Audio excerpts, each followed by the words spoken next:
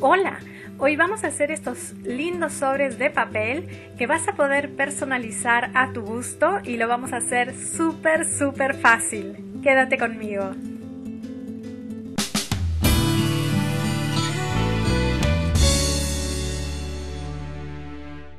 Vamos a trabajar con cuadrados de papel de 20 por 20 centímetros. En mi caso he escogido papel de origami que ya viene precortado de Clairefontaine y la colección Paper Touch. Gira tu papel como si fuese un rombo y vamos a hacer marquitas a los 8 y a los 9 centímetros en la primera esquina, de un lado y del otro. Ahora realiza las mismas marcas en la esquina opuesta. La idea es que te queden de esta forma. Une con una regla los puntos más alejados de la esquina y dobla el papel.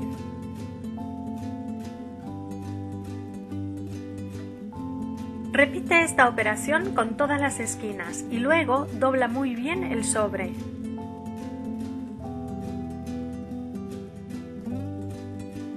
Ahora recorta los triangulitos que se han formado en la intersección de las líneas.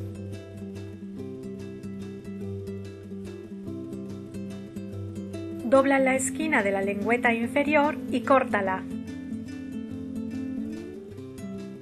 Luego, redondea la esquina de la lengüeta superior. Vamos a empezar a decorar el sobre. En este caso, yo estoy usando el papel Divine Collection de Prima. Lo primero que voy a hacer es recortar un rectángulo de 14 por 10 para decorar la parte de atrás del sobre. Luego corta un cuadrado de 11 por 11.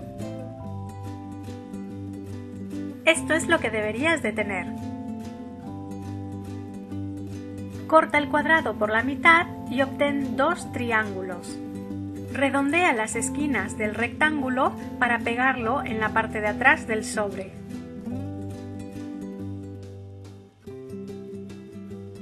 Para el triángulo de abajo, redondea las esquinas y haz unas marcas donde hay que hacer el corte. Córtale la esquina superior y pégalo.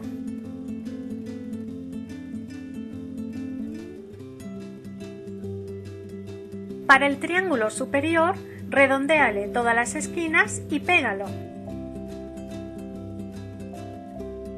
Lo último que nos queda es terminar de pegar el sobre.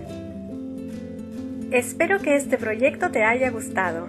Márcalo como tu favorito y con un me gusta, suscríbete a nuestro canal, síguenos por Facebook, Twitter y Google Plus y haz clic en estas imágenes para ver más vídeos. Nos vemos muy pronto. Adiós.